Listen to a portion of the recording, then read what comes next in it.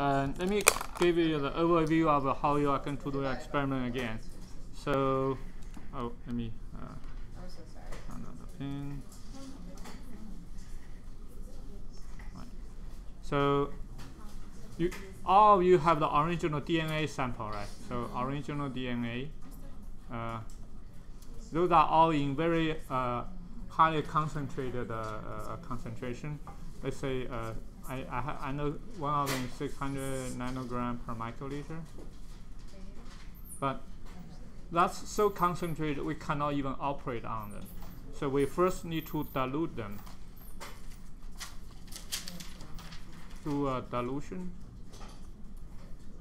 We dilute them to 12 microliter and 100 nanogram per microliter.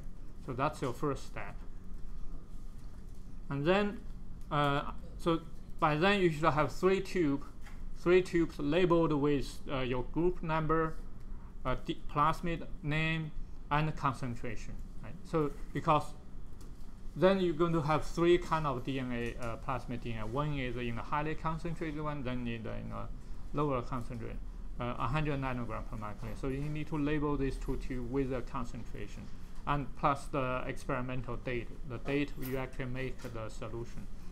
So you label them with a sample name, sample name, and uh, concentration, uh, group number, and date. We probably also want to add section one because the, but we hopefully we keep section one, section two, section three in different box, so at least minimize some confusion. So after that, you have three tube of this, and then you are going to make the master mix. The master mix is going to have the enzyme and buffer and water for four reactions. Right.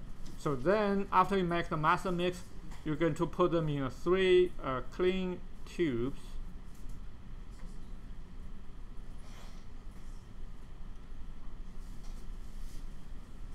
And each one, how much are you going to put? Yes, excellent. I hear 15 microliter to each one of this.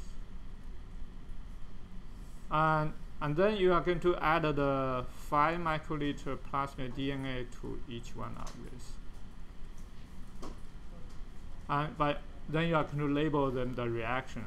You're going to label the enzyme XBA1, APA1, this one say PMSH2 and this is your group number, say group number 3 and this one again XBA1, APA1 this one say your AGXXX and the other one XBA1 APA1 and this one should be the empty vector PRS413 or AG412 that's the uh, strain number. And then we you, you leave them out. Is it at 37 degree? Mm-hmm. for a while. for how long? 30 minutes. Yeah. And that Kyoko after that they leave it at 4 degree wait for Thursday or or Yeah. inactivate it We incubate them seven, and then I'll, I'll take them on for the Okay, then we freeze it. Uh, but Thursday when we come back, when we're going to load them on uh, agarose gel, That we load half.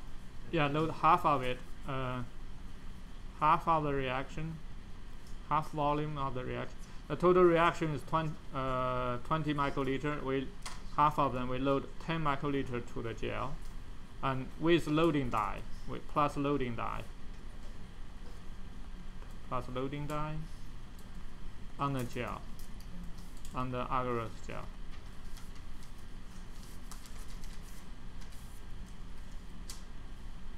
and then we are going to separate them on the gel uh, Thursday. Uh, running it on a when, so today we are going to finish the this part. Oh, uh, from dilution of DNA first, make a master mix, press, uh, finish the reaction, and then after that, uh, we are done. Yes.